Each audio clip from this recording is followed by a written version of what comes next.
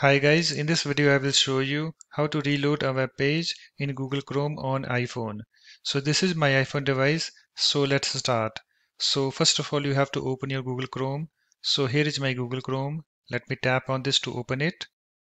You can see it's opened and after that guys you have to uh, go to the website or web page uh, that you want to reload. So I have this uh, web page opened. So I want to reload this so what you need to do, you have to uh, tap on these three dots over here in this bottom section. So let me tap on this. And I have this uh, menu opened.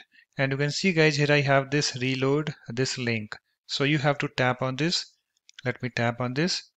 And it's reloaded. And guys, this is the first method. So let me show you the second method. So just go to the web page or website. And after that, you have to uh, swipe down uh, from top to bottom.